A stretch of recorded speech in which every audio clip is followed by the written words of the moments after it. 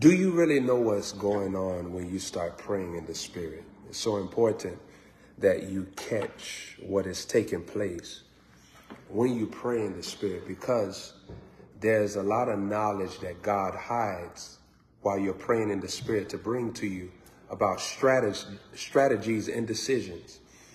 There are some aspects of decision making that you won't know until you pray in the Spirit. All throughout your week, there'll be an opportunity to get away from praying in the Spirit.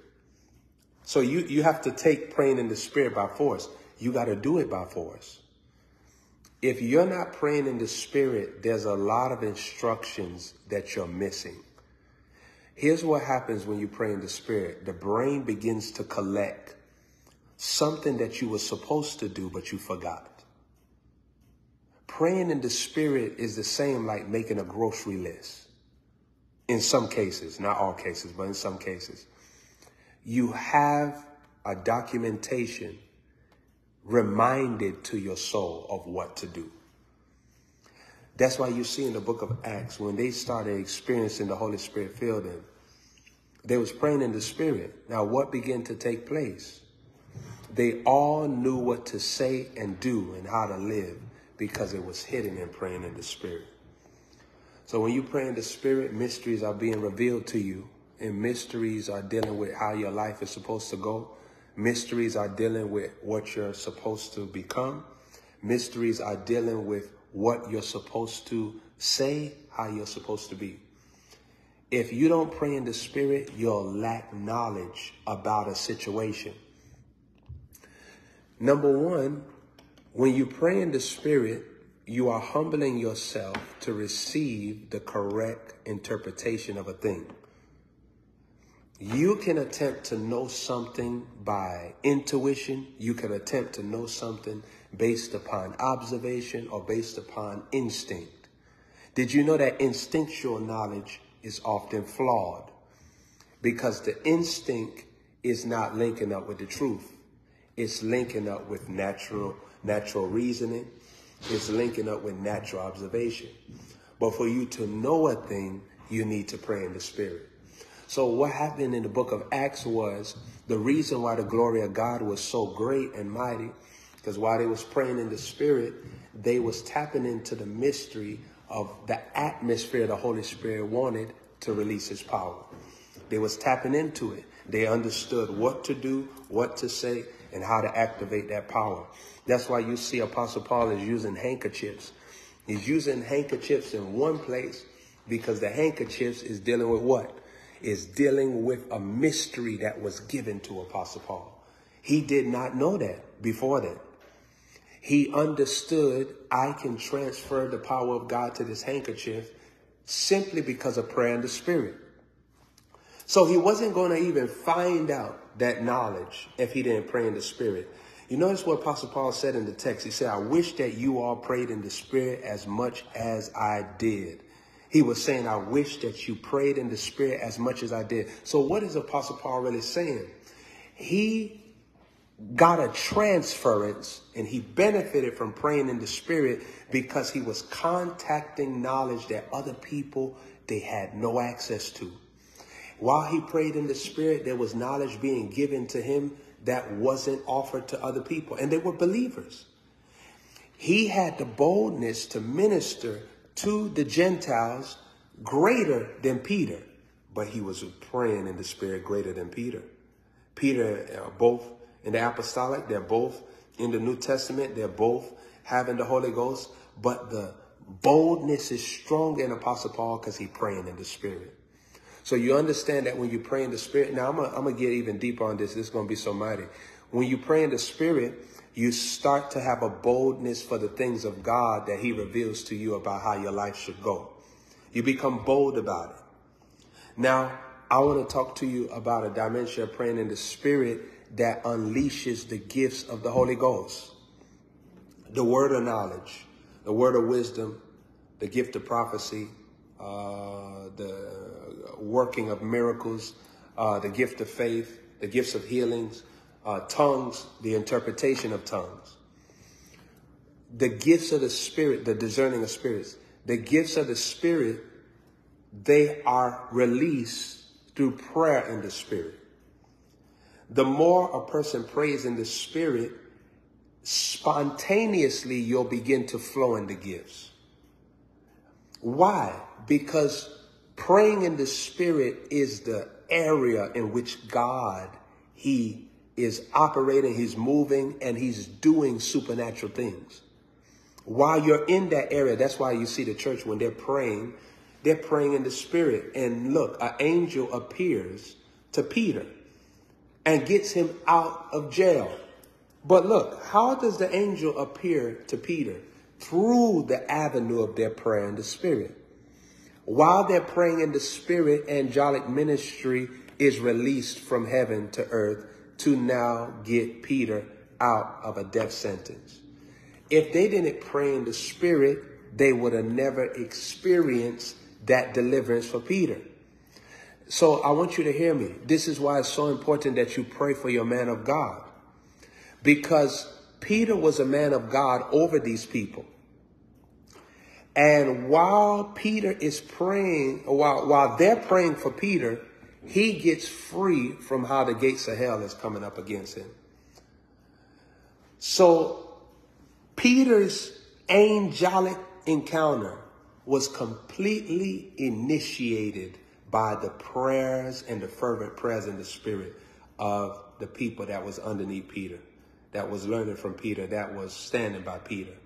That's why when you are praying in the spirit, there are moments where angels are visiting your life. Sometimes it's not forever. It's for a temporal assignment, but they are giving you a deposit of oil for something. There are angels that give man scrolls when you pray in the spirit. They give you knowledge that you need for tomorrow, for the week that you're going into, for the month that you're heading into. You receive that through prayer in the spirit. Is it, it, it is very true that you cannot be complete and wholesome unless you place a demand on praying in the spirit. Now, when we deal with prayer in the spirit, we also deal with um, a book of Corinthians, I think that's chapter 13, that talked about if I speak in the tongues of angels. When you pray in the spirit uh, with, with full focus, with undivided uh, focus, your focus is clear and it's sharp, you step into different categories of prayer in the spirit. There's a prayer in the spirit where we are dealing with the tongues of angels. The tongues of angels is the language in which angels speak in, and they release this language for also them to do their ministries as angels.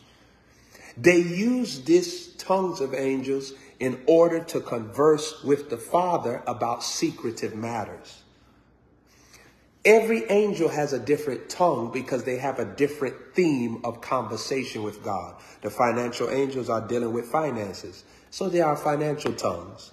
Because when we say financial tongues, that bracket of angelic is for finances and the conversation between them and the Father is on financial matters. But then we got the angel of deliverance, Psalm 34. That angel tongues is on deliverance.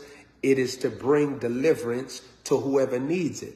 And when you pray in tongues, you can be an intercession for somebody's soul to be set free from spirits. So you see that the tongues of angels are carrying different themes, subjects, different things that the angel is assigned to accomplish.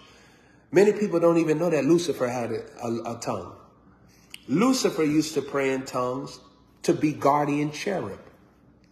That was the language that Lucifer had.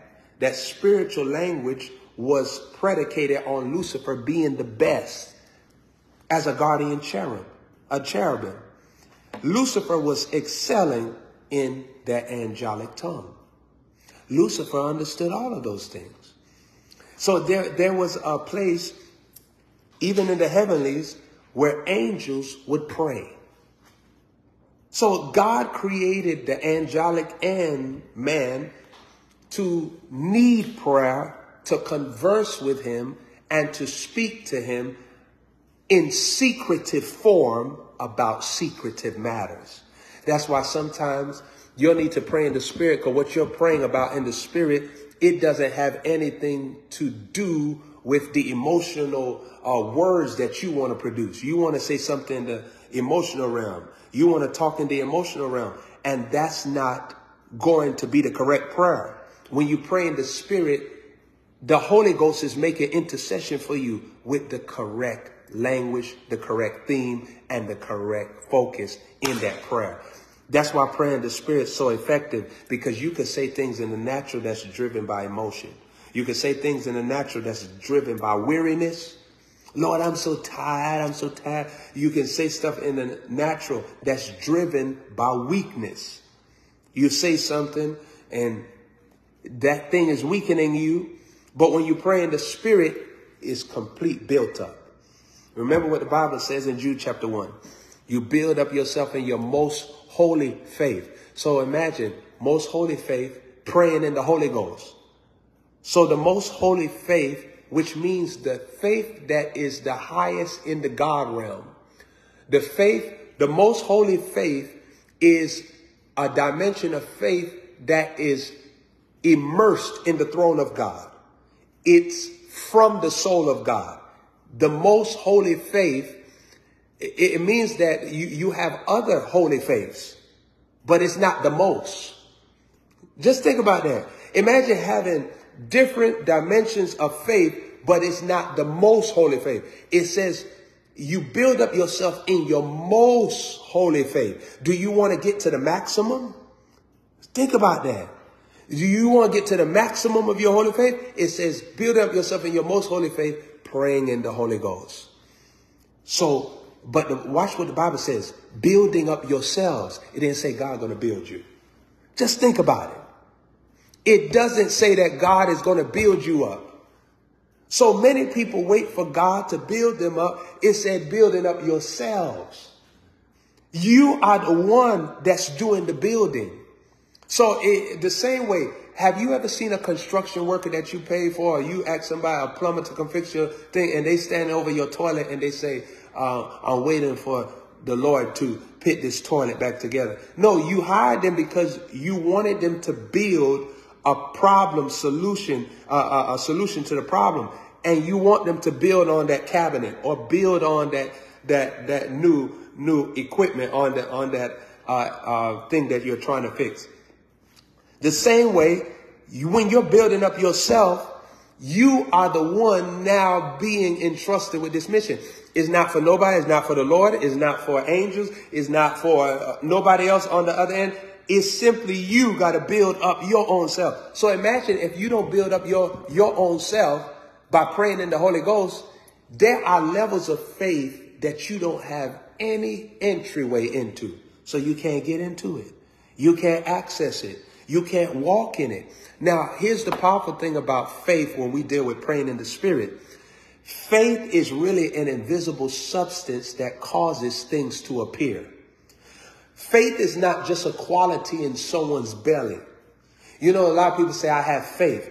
Having faith and um, uh, having faith um, and uh, possessing faith is two different things. If you possess faith, you're in Romans chapter 12. God dealt to every man the measure of faith. That's the possession. Having faith is what Jesus was saying. He said, do you have faith? If you have faith the size of a mustard seed. So having faith is the usage of faith. Possessing faith, you could still be in fear. Possessing faith, you could still be in other doubt and unbelief. All right. Thomas had possessed faith.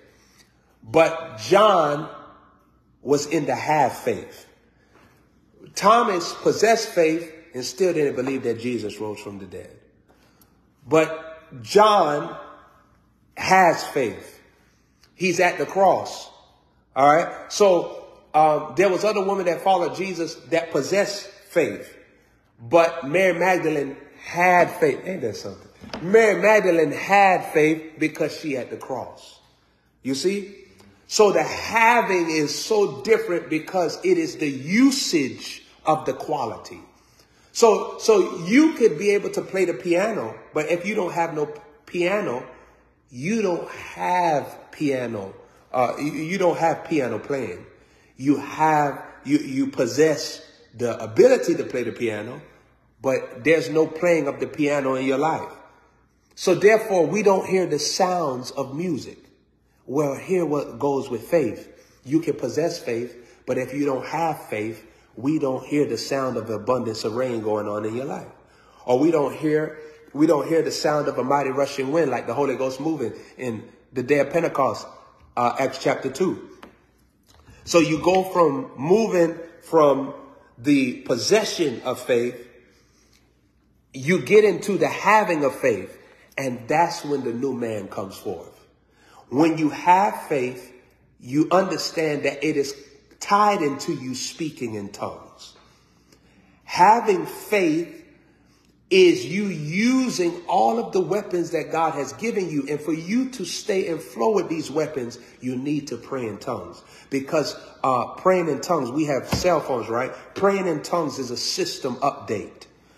Uh, the system update is for your phone to get to the current version in which they have released in that cell phone company. So like every update that they have, the software update, you click on it for your phone to update. Well, when you pray in the spirit, you get updates. You get updates on relationships. You get updates on desires that you want to uh, use to complete something. You get updates on decisions you want to make. You get updates on your finances. Just think about this. The next time you pray in the spirit, use your imagination. The imagination is often used unwillingly, unknowingly rather. You use your imagination all the time. Even if you get hungry right now, you start imagining what you should eat. God gave man the imagination so that you can link it to the measure of faith and it opens up your eyes to see in the spirit. So let me just tell you something that uh, um, I started doing um, years ago. So in my imagination of what I was reading the word by angels, I started having those encounters with the angels because my imagination had linked up with faith, which opens the eyes to see. The eyes cannot often see because your imagination has only dealt with things that are perverted. It deals with things that are self-destructive. Even somebody imagines how to get revenge. Somebody imagines how to um, how to retaliate. People in gangs imagine how to find their opt. Uh, they call them lacking because they don't have protection at the time. So all throughout life, people are using their imagination. Cooks use their imagination for recipes. Cops use their imagination for tickets.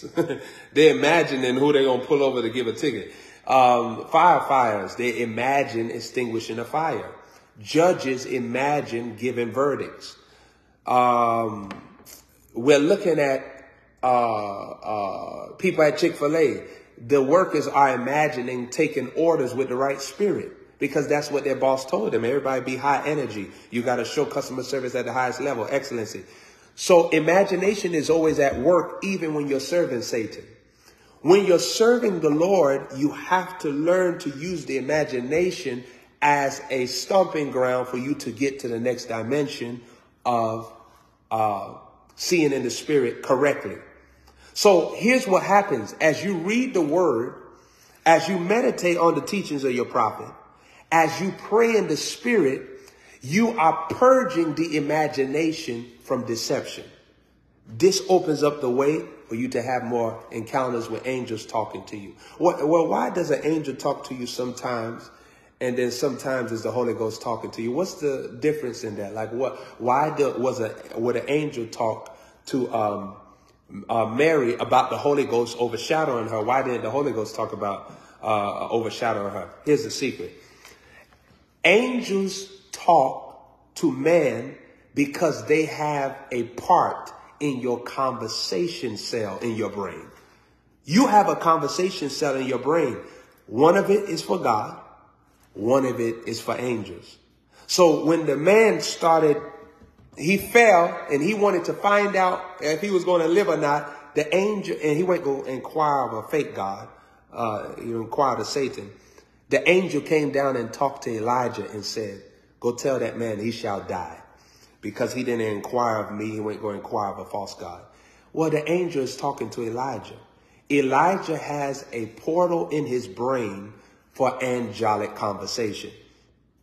Angels have a job to talk to man. This is their part in their work and field. Now, here's the uh, wild thing about this. You hear angels talking to you all the time, but most times those are angels that have fallen. So they give you ideas that even if it seems correct is wrong. The ideas bring you into wrong relationships or wrong pathways or wrong choices. But you're hearing that idea from an angel. Remember, lust is the ability to stare. It's not the ability to look. Looking does not carry lust. Staring carries lust. That's why when you stare, it is you overlooking. You mean you're looking over. Uh, staring is reviewing.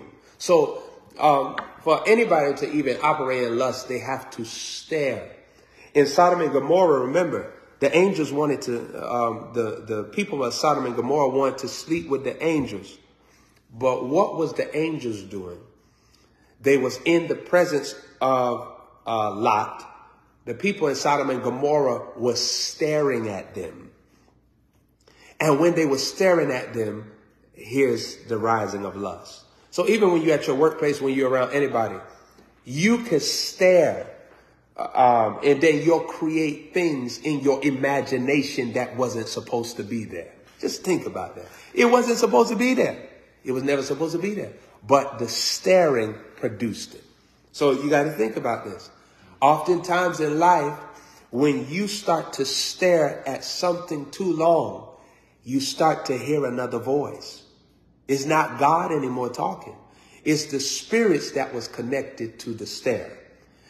Now, if you watch and look away, you actually don't have a, a, a, pattern of welcoming in your soul for spirits to talk with you about something. But you start to lust through staring. So always remember this, even if somebody walked past you at the workplace, why would you stare at them knowing that you're single? What is that going to do for you? Now you just open up a door of weakness in your mind. Many times people they get amused by staring, but it corrupts you and creates all type of spiritual warfare that you don't want. And then oh, at the end of the day, now you're wrestling with your imagination tempting you because that's what the demon used through your staring. So that's why you see Satan wants to put Jesus on the high place to show Jesus the kingdom of this world wants Jesus to stare at them so that Jesus would pick that over the Father's will. So even Satan was using the law of staring to create lust because when lust is conceived, it creates sin. When sin is conceived, produces death. Praying in the spirit, it lets you take control of yourself again. When you pray in the spirit, even for an extended amount of time, when nobody is around you, when you're by yourself, you take back control of yourself. You start to purge yourself mentally of distractions. And you are opening back up the portal of your imagination to faith, to the presence of God, to the promise of God, to the power of God. And ultimately what that does, you're not going to be having the same schedule in your time because now the Holy Spirit going to be able to guide you, check you, anoint you, put you in another place mentally. I just want you to think about this from now on. When you pray in the spirit, you're going to be receiving imaginations of what you are supposed to do and what you are supposed to say. You're going to receive a list of things that you're supposed to focus on. When you pray in the spirit, be ready for conversations and be ready for angelic ministry for you and to you because this is what prayer does. When you pray in the spirit, you are bringing your soul back subject to the power of Jesus. That's what you want. You don't want anything, any other power influencing you. And remember what I told you when you pray in the Spirit, remember what the Bible says in John. The Holy Ghost shall teach you all things. He shall bring all things to your remembrance.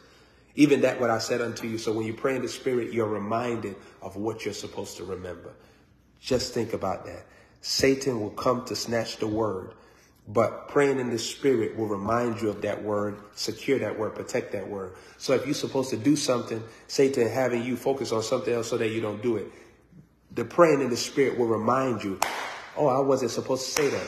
I wasn't supposed to talk to this person. I wasn't supposed to go there mentally. I wasn't supposed to experience that emotionally. I wasn't supposed to let myself uh, dwell on that. And when you pray in the Spirit, lastly, remember this it keeps you in surrender.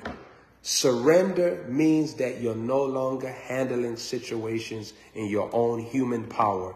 You are handling them in the power of God. In whatever strategy He gives you, that strategy becomes your reality and you believe with all your heart that it will work. That's what surrender does. And when you put your investment of faith in that strategy, now we're looking at the glory of God falling, the power of God falling to fix all things and to add all other things to you. So you pray in the spirit because the word of God saying Corinthians, it edifies you, which means that it lifts you up and it gives you new strength and a new mentality that you're supposed to have about situations. Um, you have a phone percentage, you have a soul percentage. And praying in the spirit is charging the soul like your battery charges your phone.